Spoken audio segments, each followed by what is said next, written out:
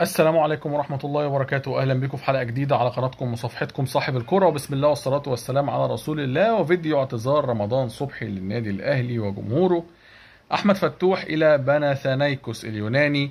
خالد الغندور بيقول مبادئ الأهلي ساعة تروح وساعة تيجي في فقرة اعرف الصح. وربنا يستر على اللي جاي والخوف مش من اللي جاي الخوف من اللي بعد كده. على رأي الروائي العظيم والأديب الكبير محمد مجدي أفشة نادي الأهلي. من ساعة ما نادي الزمالك جاب الأربع لاعبات بتوع الطايرة وحسبي الله ونعم الوكيل في اللي كان صاحب فكرة إن إحنا نجيب الأربع لاعبات بتوع النادي الأهلي في الطايرة لأن إحنا بعد كده ما شفناش حاجة خالص والنادي بيفضى. نادي الأهلي ما بيسيبش حقه. وإحنا بصراحة اللي نكشنا في الموضوع وكانت الدنيا هديت بعد عبد الله السعيد والموضوع عدى وقال لك خلاص مش مشكلة عبد الله راح عبد الله جه عبد الله رجع الأهلي لا ده مشوه لا ده راح بيراميدز لا ده مش عارف إيه لا ده الزمالك خده لا ضحك على الزمالك في 40 مليون قصة كده. وخلاص إيه يعني عفى الله عما سلف وكفى الله المؤمنين شر القتال والدنيا هديت. لكن ليه بقى ما نروحش ننكش تاني؟ ليه بقى ما نروحش نستفز الأهلي تاني؟ ما اروحش آخد أربع لاعبات طايرة. واخد لعيبة عاملة مشكلة معاه وأقول أنا هقف لها ومش هقف لها والبنت موقوفة لغاية دلوقتي أهو. مع احترامي ليها أكيد يعني. ففجأة الأهلي واحدة واحدة كده وبشياكة. مش هقول لك آه، اجوستو بتاع السلة ولا ولا ولا. إمام عاشور. نسمع بعد كده إن أحمد فتوح موقع على ثلاث نسخ وفاضل نسخة. محمد صبحي موقع على ثلاث نسخ وفاضل نسخة. والدنيا رايحة جاية رايحة جاية. بعد كده حسام عاشور دخل النادي الأهلي. قال لك استقبلوه أحسن استقبال وراجل الضايف ودخل وحضر ودخل التتش كمان وقعد مع اللعيبة وسلم عليهم. والناس كانوا فاتحين له الأبواب والناس كلها ودخلوا اتصوروا معاه وقالوا له البيت بيتك والكلام ده كله. وغالبا كده شكل شكل حسام عاشور راجع الأهلي تاني.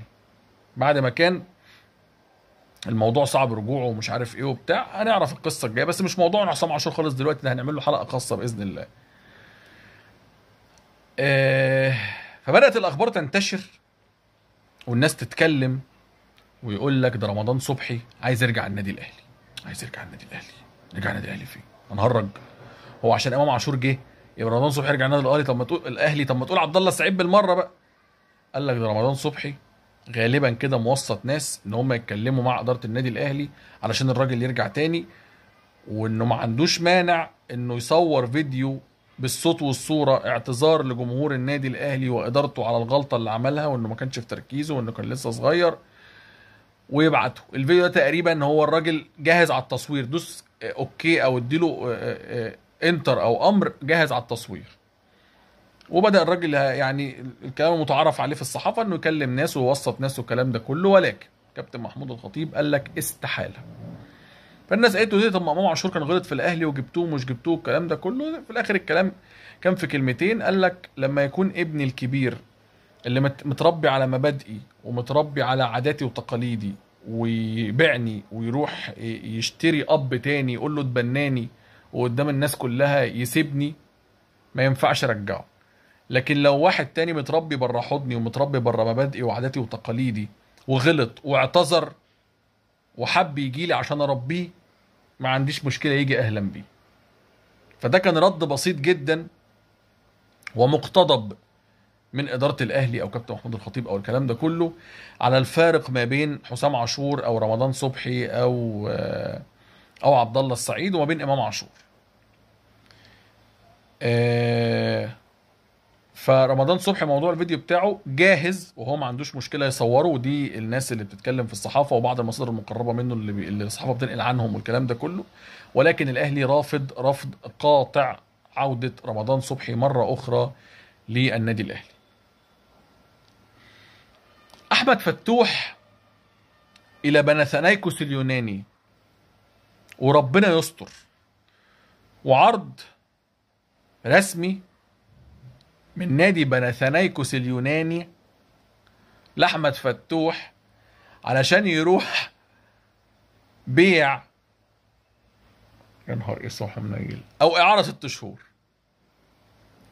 لو راح إعارة ست شهور أو راح بيع ايا كان أحمد فتوح يحق له التوقيع لأي نادي في العالم بعد ست شهور يعني في الانتقالات الشتوية القادمة لأن فاضل له في عقده مع الزمالك موسم واحد ومعروف إن في نص الموسم المتبقي يحق لأي لاعب في العالم التوقيع لأي نادي آخر في العالم مجانا والنادي بتاعه ملوش الحق إنه ياخد ولا جنيه. فشكل كده بنسانايكوس ده زي ميتلاند وهنلاقي عدلي القيعي وأمير توفيق زي الفيلم بتاع اوعى وشك بتاع أحمد رزق واحمد عيد لما كانوا لابسين وفد صيني ورايحين نحن نريد أن نتعاقد مع أحمد فتوح لنادي بنسانايكوس بس النهارده يلبسوا يوناني بقى. وياخدوا أحمد فتوح وأحمد فتوح يطلع من بنسانايكوس اليوناني على الأهلي.